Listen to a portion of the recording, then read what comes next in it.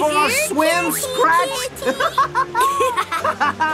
whoa, whoa, whoa, whoa! Hey, whoa!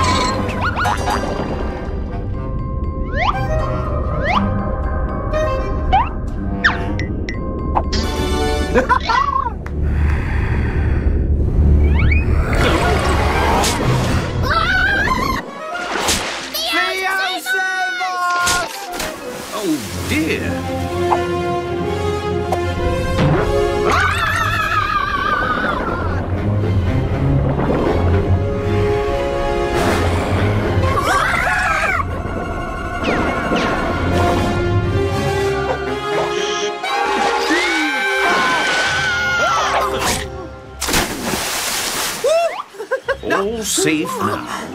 Oh, I, I thought we were gonna... Thank you for saving us, Theo. Of course, lads. The world can be a dangerous place, especially for mice. Stay out of trouble now. You can depend on it. Cheerio!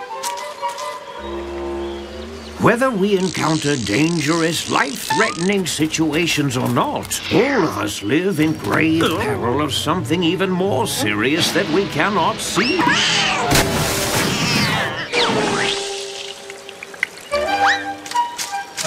Cheerio! I'm talking about the peril of our eternal souls. The Bible teaches that all of us have sinned and fallen short of God's perfect standard of holiness. God's justice requires that sin be punished.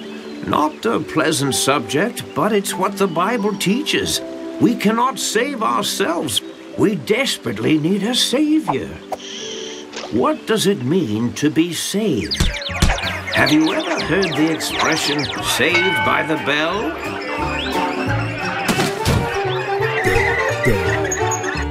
Others think of it as being saved by a skillful doctor.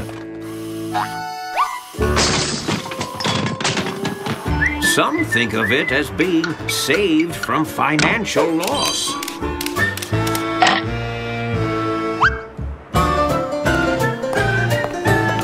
Salvation is God's act of grace in saving people from bondage to sin in this life, as well as eternal condemnation when we die.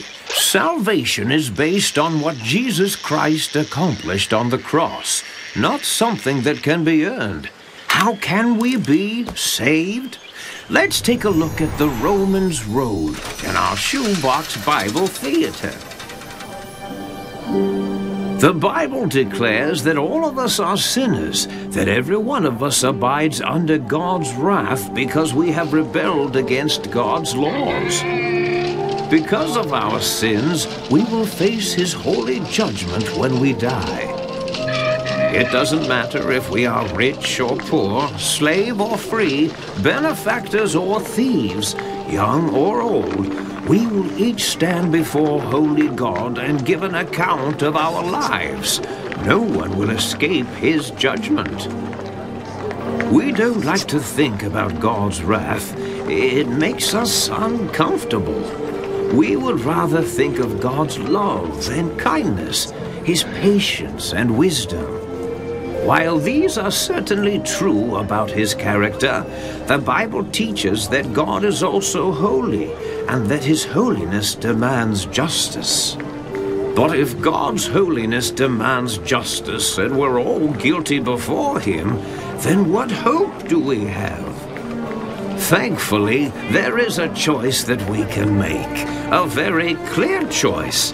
A choice between spiritual death and spiritual life. Jesus taught that there are two ways or roads in life. Only two. One road is broad and easy to follow. It is the well-traveled road of the world. It is the road of the crowd. It is the road of carefree fun and laughter, of self-indulgence, where everyone does what he wants to please himself.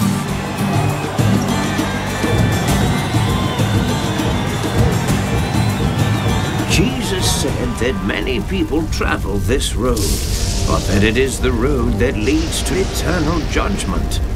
Jesus called this place of judgment hell.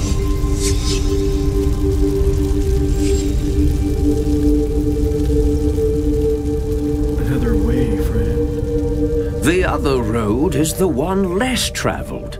To enter it, one must go through a narrow gate. Jesus is that gate. Jesus said that He is the way, the truth, and the life, and that there is no other way to heaven but through Him alone. Jesus said that the narrow way is difficult and that sadly few people find it. This is the way of the cross. It is a road that brings trials and testing, a road of self-denial. But it is also a road that brings true blessing, joy, and peace. Jesus calls this road the way of abundant life. Jesus, the Son of God, came to earth to pay the price for every person's sins. Because of his sacrifice, we have a clear choice. We may turn away from our sins and turn to Jesus by faith in order to receive eternal life.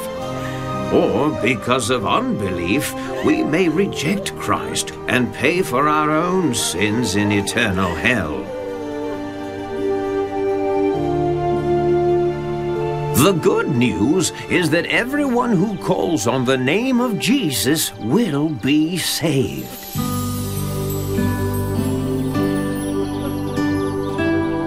Receiving Christ as your Savior is simple enough even for a child to understand.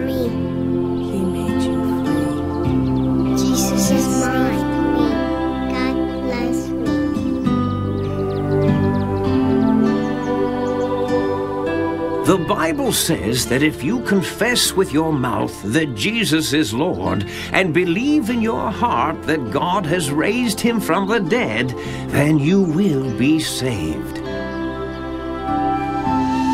Becoming a Christian is as simple as saying no to your old way of life and saying yes to Jesus. It is believing that Jesus died for all of your sins and then receiving the free gift of salvation from God.